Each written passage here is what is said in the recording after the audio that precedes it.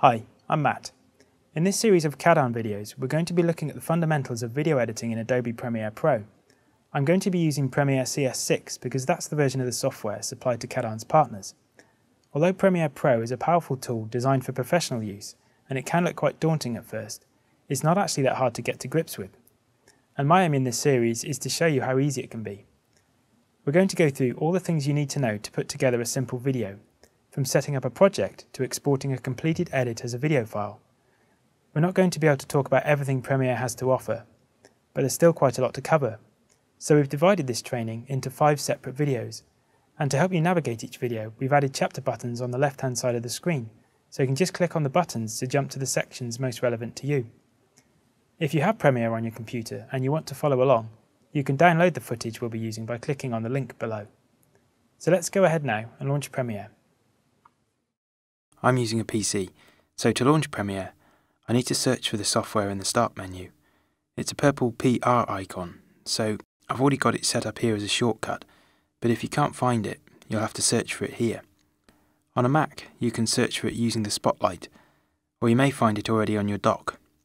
So I'm just going to type Premiere in here, and you'll get a list. I've got two versions of Premiere installed on my computer. The one we want is Adobe Premiere Pro CS6 so I'm just going to click on the name here to launch the program. The first thing you're presented with is this welcome window.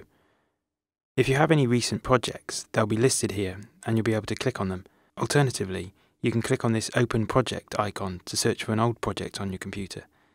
Or you can create a new project by clicking on this icon here. We're going to create a new project, so let's click on that. Now what you'll see is this new project window. This is where you name your project and choose where you want the file to be saved. You name your project where it says Untitled, so if you click inside the box, you can give it whatever name you want. I'm going to delete the word Untitled and call this project Learning Premiere.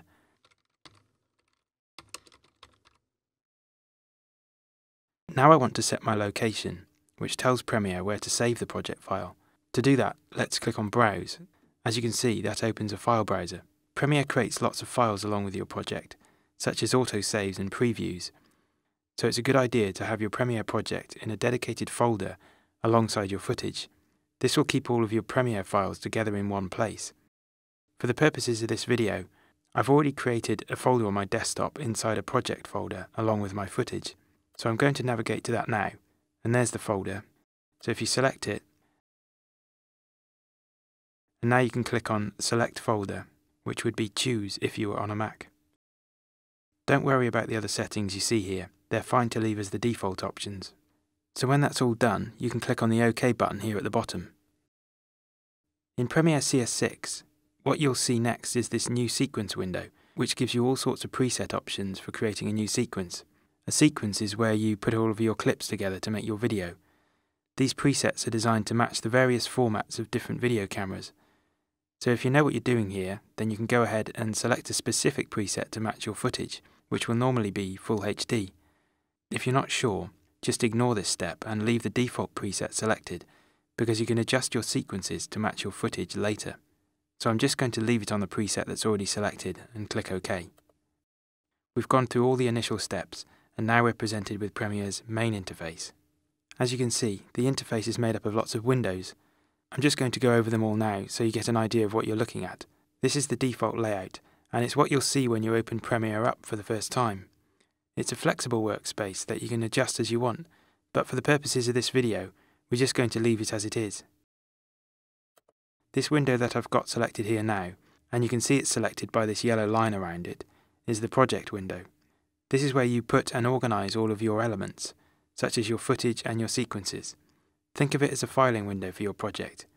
As you can see, we've already got a sequence in here. Above that is the source monitor. This is where you view your clips, and you can also edit their length. At the moment I haven't got any footage in my project. But if I did, to view a clip, all I'd need to do is double click on it, and it would appear here in the source monitor. Next is the timeline. Sequence 01 is already open on my timeline. A sequence is a collection of clips that you're editing together. It's the video you're building. You can grab elements from either the project window or the source monitor and bring them into a sequence. and you can have several sequences open here at once on the timeline, where they'll appear as tabs. I'll talk more about how the timeline and sequences work later on. For now, all you need to know is that you view what you've got on your sequence here up in the program monitor, and it's connected to this playhead, which marks where you are on the timeline. So those are the main windows. You've also got two small windows that are important to know about.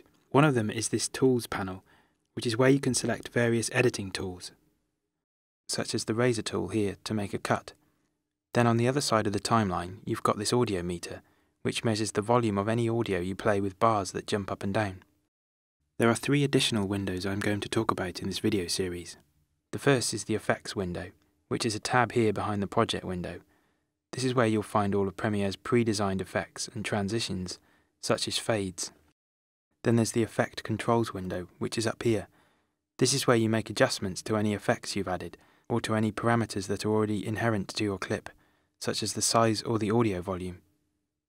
And lastly, there's this audio mixer, which we'll come to right at the end of the video series when we're making the final adjustments to our sound. There are lots of other windows that can be opened in Premiere. If you go up to the menu at the top and click on Window, you can see all the possibilities here. So if you accidentally close one of the main windows, you can easily open it up again by finding it on this list. So let's just accidentally close the source monitor by pressing on this X. Now let's go to the window menu and find the source monitor. And there it is. The other thing you can do here in the window menu is play about with the overall layout of the interface, here under Workspace. As you can see, there are several presets to choose from. But as I said, we are going to stay with the default workspace in this video, which is the editing preset. The other thing you can do here is reset your current workspace. So if you've been playing about with the interface and changed things around, you can get back to the default layout by clicking here. So now you've got an idea of what you're looking at, let's start by bringing some media in. You can bring all sorts of things into Premiere, footage, music, photos, logos, all the things you need to put your video together. In general, the main thing you're going to be dealing with is footage. I've got a collection of clips I want to work on, so let's bring them in. As with most actions in Premiere, there are several ways of importing media. The most basic way is to open the File menu and click on Import. This opens the Import window, where you can navigate to your media files on your computer. Another quicker way of doing this is to right-click on any empty space in the project window and select Import. There's also the keyboard shortcut, which is Control-I or Command-I on a Mac. So I've got my clips in my project folder on my desktop, so let's navigate there. And there you can see my footage folder holding my clips. I could import this whole folder if I wanted, or just one file, or a selection of files. If you do import a folder, be aware that Premiere will only recognise one level, so if you've got additional folders inside your folder, you'll get all of the files, but you won't get the organisation. For the purposes of this video, I'm going to go into the folder and select all of the files. So let's do that by holding down the Shift key on my keyboard and clicking on each of them. This is just one way of selecting. I'll show you other ways as we go on. There, now they're all selected, I can press the Open button down here. Premiere has brought all my clips into the project window. There are two different ways of viewing these clips. At the moment I'm in List View, the other option is Icon View. You change between the two using these little buttons down here. Icon View is a good mode for quickly browsing through your footage. You can skim through the clips right here in the project window just by moving your mouse over them. If you click on a clip to select it, you get a mini timeline and a playhead down at the bottom. You can click anywhere on this timeline to jump through the clip, or you can scrub through the media by dragging the playhead backwards and forwards. There's a way of playing the clips here too. Just press the spacebar on your computer. That's the keyboard shortcut for play. Press it again to stop. All of these actions are the same wherever you go in Premiere, so wherever you've got media to play, you'll get a timeline and a playhead, and you'll be able to use the spacebar as a shortcut. If you do want to view your clips in the icon view like this, you can make them bigger by using the slider down here, with the mountain icons. But I don't really like to use the icon view when I'm editing. I prefer the list view because it's better for organising, so let's change to that now. In both list and icon view, you can watch a clip by clicking on it to open it in the source monitor. Once open, you can play the clip using the play button here. You can also use the spacebar and the playhead in the ways I've just shown you. It's important to understand that these clips have not been physically brought into Premiere. What the software does is link to the files on your computer. This means if you were to move the files from their original location, the link would be broken, so it is important to have all of your media organised and tidy before you start this process. Good organisation is also important within Premiere, so let's talk a bit about that now. Organising your project window is something you should do right at the beginning, and you need to make sure you keep things tidy as you work. This will help you keep on top of things as you go through your edit, especially if you're dealing with a large amount of media. So, the way we organise things here is to create folders. Premiere calls folders bins, which comes from the days when editors worked with film and would store selected sections in bins. To create a bin, make sure you have the project window selected by clicking on it. As I said, you can see if you've got the window selected because it will be highlighted by this yellow outline. Now you can go up to the menu bar click on File, go to New and select Bin. And there you go, as you can see, a new bin has been created in my project window. Another way to create a bin is to right click on any empty section of the project window and select New Bin, like this. The keyboard shortcut for this action is Control slash on a PC or Command slash on a Mac. Now I've got two bins. The one I've just created has its name highlighted, which means I can type a new name in. Let's call it footage. To rename the other bin, select it, then click on the name and it will become editable. Don't double click on the bin, because that will open it up in a new window. So let's call this bin Sequences. You can create whatever folders you want to help organize your elements, and you can have folders inside these folders. For good basic organization, we recommend having at least one other bin in here, and that's for additional media such as music, logos, and photos. In my project folder on my desktop, I've got an Other Elements folder, holding an MP3 track and a logo. Instead of creating a bin in Premiere and importing these elements separately, this time I'm just going to import the whole folder from my desktop. So let's open the import window again. Right click, select import. My project folder is already selected. And there's the other elements folder. Select it and press import folder. There, now I've got the folder in my project within Premiere. Let's see if my elements are in there too. To do that, I need to open up the folder by clicking on this little arrow here, and there they are. So now I've got my three main bins, I'm ready to sort things out. First things first, let's move these clips into the footage bin. Click and hold on a clip, then move your cursor up to the bin. You can see it's highlighted. Now release the mouse, and the clip will move into that folder. You can select a bunch of clips and move them together using the box select. Just click and hold the mouse, then move your mouse cursor over the clips you want to select. You can see I'm creating a box. Anything that box covers will be selected. Now I can drag all of these clips into the footage bin.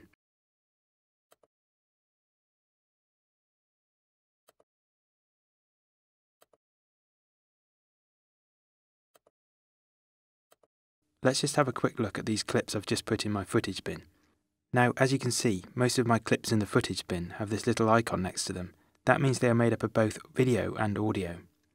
This clip here, called Timelapse, is only video and has no audio, and this clip here, Russ interview sound, is only audio. To be extra organised, I'm going to create a special folder for this audio clip, and you'll see why later on. Select the footage bin, right click and press New Bin. There. Now I've got a new folder within the footage bin. Let's call it Audio, and let's move the audio clip into it. And to finish tidying up, let's move this sequence into the sequences bin. So if you click, drag and drop, and there we go. Now we've got a nice tidy project window and we can move on. So what we're going to do now is move over to the timeline and start working on that. If you remember, when we launched Premiere, there was a new sequence window that we ignored. It is, however, very important that you get your sequence settings right, because otherwise you could come across all sorts of technical issues. You can't change the settings of your sequence once you've started editing, so we're going to do it now using our footage. If all of your footage has been shot by the same camera using the same format, you can use any clip to establish your sequence settings. If lots of different cameras have been used, you need to work out what format the bulk of the footage has been shot in and use that as your baseline.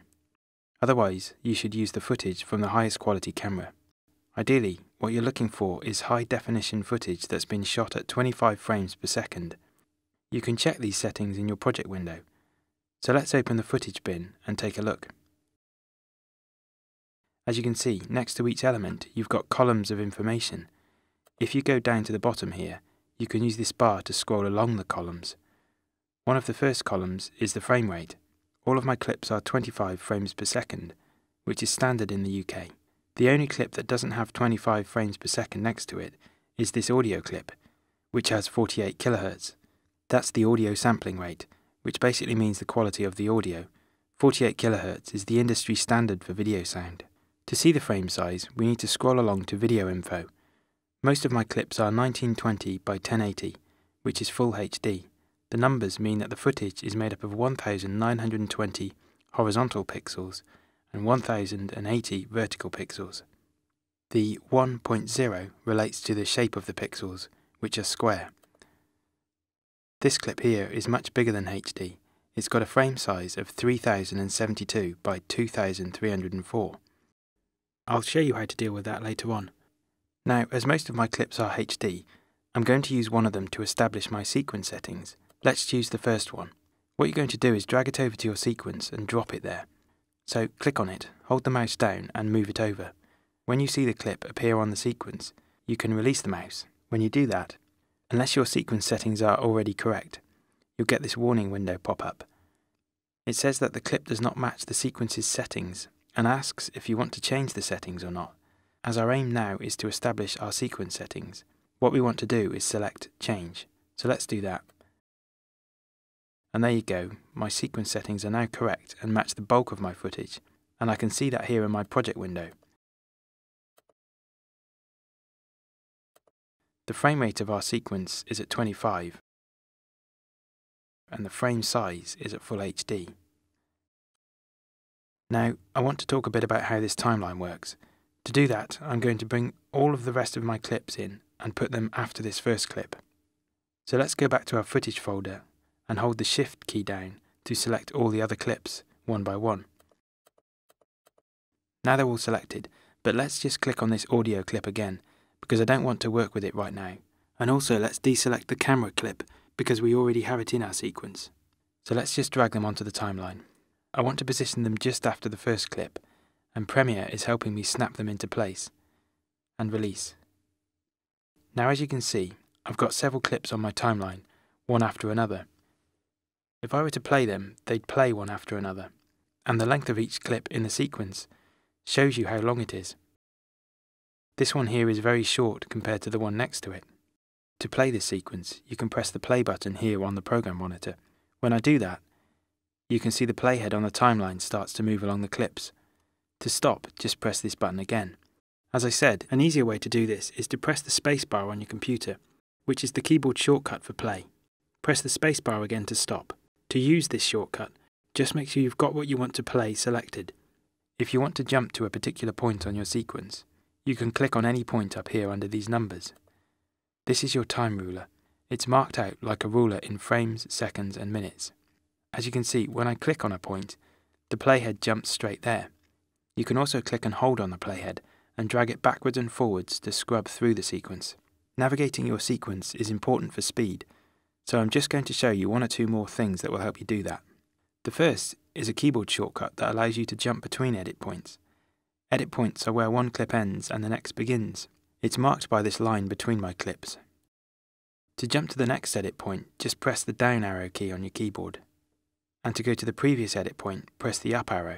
As you can see, I'm jumping through my sequence now from clip to clip.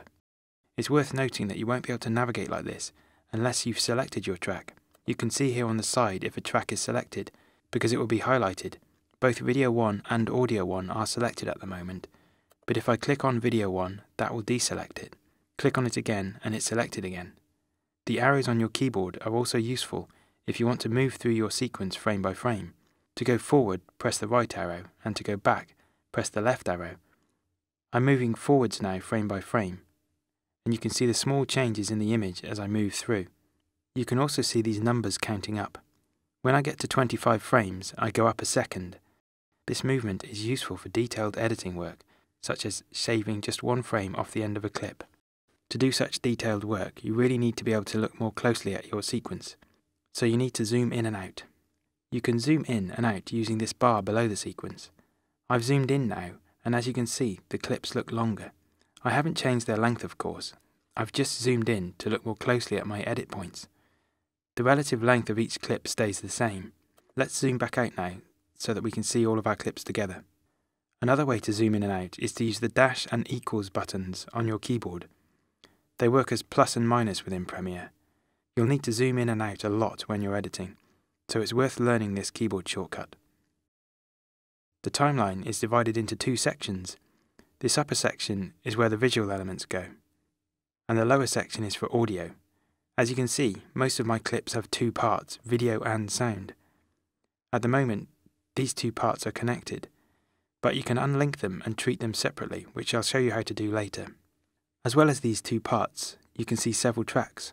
All of my clips are currently sitting on track 1, but I could have them on any track I wanted, and if they were one after another, they'd play just the same as they do now.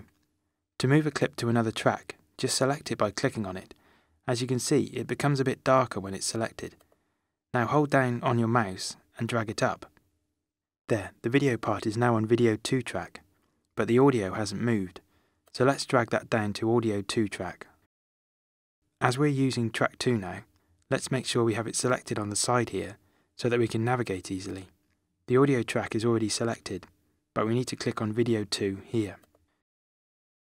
Now, if I drag this clip along so that it's on top of the clip after it, what happens is you'll only see the top clip. It's covering up the clip below. It works differently on the audio sides of things, because you can hear the sound from both clips. So, with visual elements, you'll see what's on the top. With audio elements, everything mixes together. As we're working with tracks now, it's useful to know that they can be expanded. Video 1 is already expanded, which is why you can see these helpful thumbnails at the start of each clip. To open up Audio 1, just click on this little arrow here. Now you can see the audio waveform, which is a graphical representation of the clip's sound waves. It shows you where you've got sound and where you haven't. The bigger the wave, the louder the sound. To expand these tracks even more, hover over the line separating them until this double arrow icon appears. Then click on the line and drag it up and down like this. If you find yourself needing more tracks, it's very simple to add them. Simply drag a piece of media, like this clip, to this blank space above the video tracks you already have, or below the audio tracks, and a new track will be added like this. You can also right click on this area to the left side of the tracks and select Add Tracks. When you right click, you have the option to delete tracks as well. So let's delete the ones I've just added.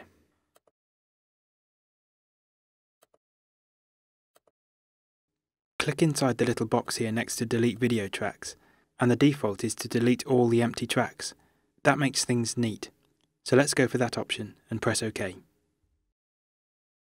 The other useful things you can do to tracks is turn them off and lock them. You turn a video track off by clicking on this eye icon here. Now it won't show in your program monitor. Click on the empty box to open the eye and turn the track on again. Similarly, to turn an audio track off, click on this sound icon. To lock a track, click on this box. A little lock icon appears, and the track is crossed out. Locking a track means nothing can be moved within it or over it, which is useful if you've perfected an edit and you don't want it to change. We haven't done any editing yet, so let's turn these locks off. So, in this video, we've set up a project, established our sequence settings, and had a look at Premiere's interface. Now we're ready to start editing, which is what we'll be looking at in part 2 of this series of CADARN training videos.